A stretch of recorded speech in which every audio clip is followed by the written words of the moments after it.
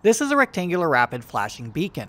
The way it works is you press a button, wait for cars to stop, and cross to the other side. Installing this device may be able to increase motorist yielding rates up to 98%, although that's not quite accurate. The study, Will You Stop For Me, says it's more of a range between 19 to 98% due to other variables such as the number of lanes and the speed of the cars. A 20% increase in yielding rates may be admittedly better, but it won't actually feel safer. Every near miss from cars failing to stop or sneakily making left and right turns will only instill the impression that the intersection is still dangerous, despite the presence of a pedestrian beacon. This is not pedestrian infrastructure either. It is car infrastructure designed to warn motorists to slow down because people are about to cross or are currently crossing. It should not be used as a substitute for traffic calming that slows down the cars or reduces the lanes. So, if someone asks why these aren't helpful for pedestrian safety, you can tell them that